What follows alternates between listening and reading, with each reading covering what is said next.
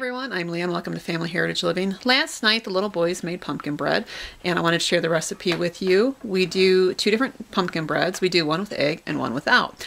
Um, the reason we do this is sometimes we don't have the ingredients for the eggs, and I like to have standbys with certain recipes. Not all recipes are equal when it comes to omitting an ingredient, but this particular recipe is really a good stand-in um, if you don't have the eggs or if you are a vegan um, or if you just don't eat eggs. So, um, and it's also one the little ones can enjoy because they can make it from beginning to end and they can lick the batter. Um, we don't lick the little ones don't lick batter if it's got eggs in it. It's just a thing for me. So, at any rate, uh, this recipe is very versatile.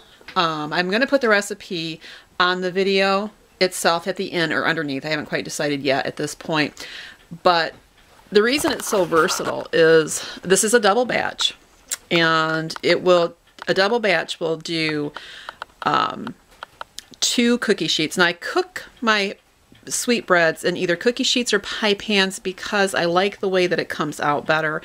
I don't have to cook it over oh, if the outside is done and the inside isn't quite done, I don't have to worry about the outside getting, you know, overdone, too tough, or just just too burn or whatever. And the cookie sheets or the um, cake pans always seem to turn out just just right the way we like it. So this recipe will do two cake pan cookie sheets. If you cut it in half, obviously it's going to do one, or it'll do probably be, do like two bread loaves. Um, the versatility in it is like, for example, I need two cups of butter. I don't have two cups, I have a cup and a half, but I've worked with this recipe enough to know that that will work.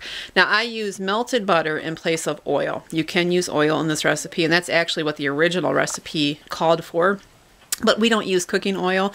Um, the only thing we use is butter, and occasionally we use a, a spectrum shortening or an organic shortening.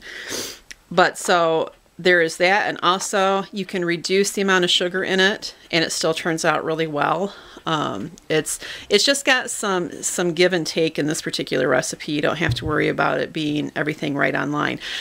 The other thing is the original recipe, uh, as most pumpkin recipes do, called for cinnamon. We don't use cinnamon in our home.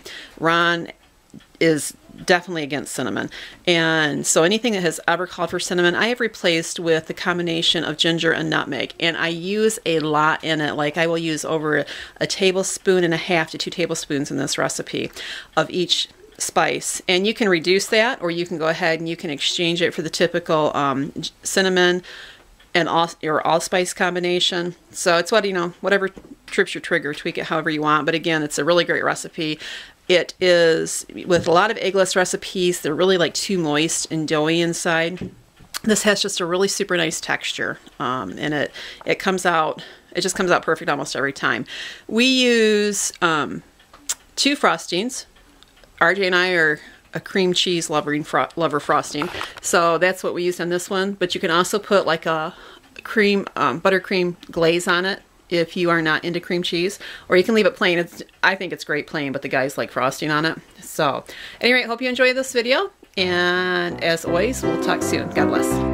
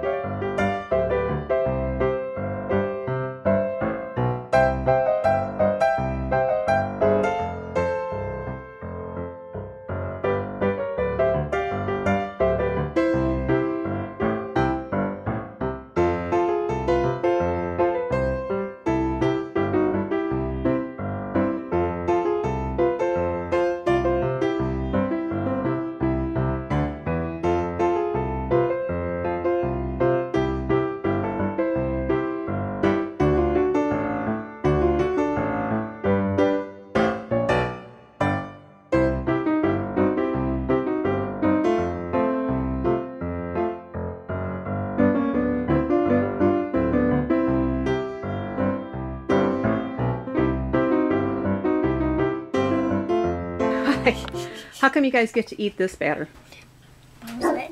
Yeah, I'm letting you, but is there a reason why? Because it doesn't have egg in it, right? Because mommy doesn't let you eat batter with egg in it, does she? No. Not if it's not cooked.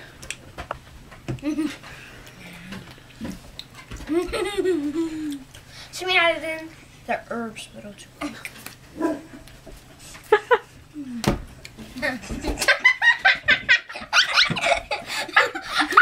All right, all right, you boys.